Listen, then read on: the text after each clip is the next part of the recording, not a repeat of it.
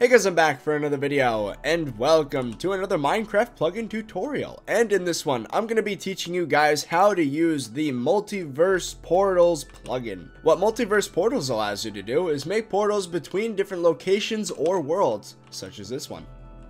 And as you can see, there doesn't need to be a block there, you can just walk right up and boom, teleported.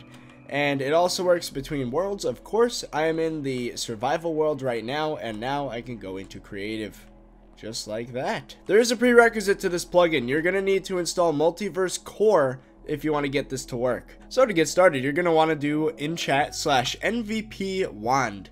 Now, as you can see, it says I have World Edit installed, and since I do, I'm going to do slash slash wand. But if you don't want to use a command, you can just get a wooden axe. That's the default. For this example, I'm going to be using cobblestone. So let's make our first portal. So I'm just gonna build a portal. Doesn't really matter what size or shape. I'm gonna. You can make them like this. You can make one like this. Tiny little portal. But I'm gonna go with the standard Nether portal size. So then I'm gonna place in some panes, which look nice. You don't need to put blocks in the middle, but I do it because it looks nicer. So then you get your axe. You left click on the top corner. It doesn't matter what corner. So that corner, for example, and then you right click on the other corner, the one opposite to it. So boom. Now I've selected this entire thingy here, and then I type in this command, slash MVP create, and then you type in your portal name, tutorial 1. Right? MVP create tutorial 1. So there you go. Now we've created tutorial 1. Of course, we run into it, nothing happens because it's a fresh portal. It has nowhere to go. I'm to make the second one right here for now. So we can do this. And again, this will work between worlds. So I could go into the nether and then make another portal. It doesn't really matter. So there you go. There's portal number two. And then I do the same thing. Let's do a different corners this time. Boom, boom. Doesn't matter again. As long as you get this whole rectangular area selected using the axe. And then I'm going to do slash MVP create tutorial 2. And there you go. Now we have tutorial 1 and tutorial 2. Of, again, if we try running through, nothing's going to happen because they're not linked. So now what we can do is we use the linking command.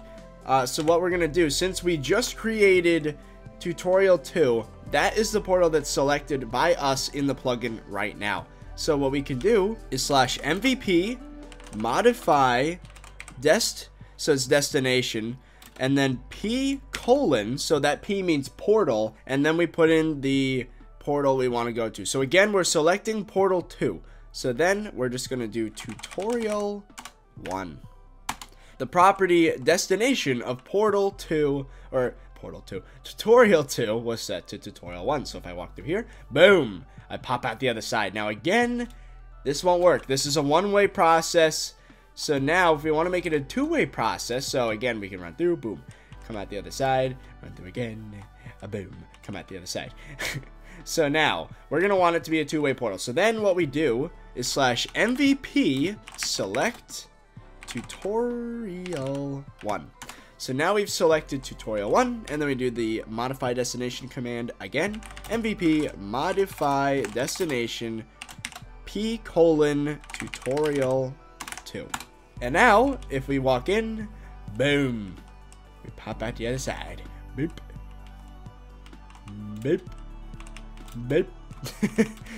So yep, now it's a two-way process.